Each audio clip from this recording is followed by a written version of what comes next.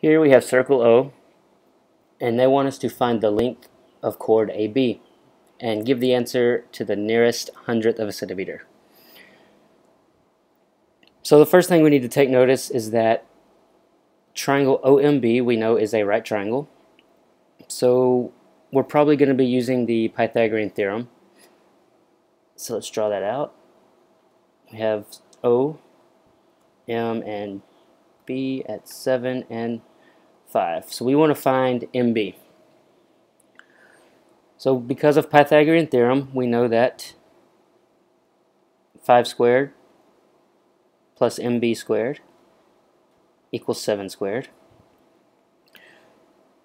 25 plus MB squared equals 49.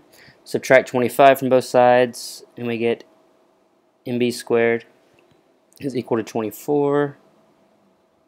Now we need to take the square root. Um, this isn't a perfect square so we are going to have some decimals. So the square root of 24 comes out to about 4.899 so MB is going to be 4.899 centimeters.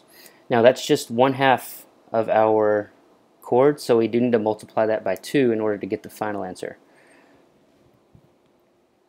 So 4.899 times 2 is going to come out to roughly 9.80 centimeters. And that's going to be the length of our chord.